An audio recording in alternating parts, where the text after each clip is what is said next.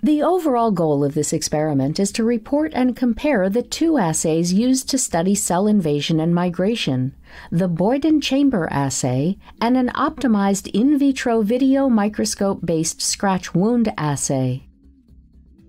This experiment can help answer key questions in the study field of invasion and migration, such as the choice of the most relevant method. The main advantage of this optimized in vitro video microscope-based scratch wound assay is that it provides a reproducible and precise comparison between treatment conditions. Though this method can assess cell migration and invasion, it can also be applied to other study fields such as healing or tissue regeneration.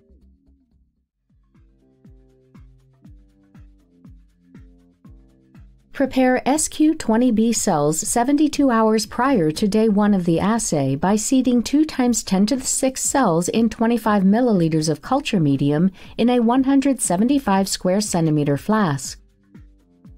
Allow the cells to grow to 80% cell confluence at 37 degrees Celsius. On day one, after trypsinization and cell counting, seed the cells in a 25 square centimeter flask at a cell density of 6 times 10 to the fifth cells in 3 milliliters of culture medium for each condition to be evaluated. Incubate the cells at 37 degrees Celsius for 24 hours.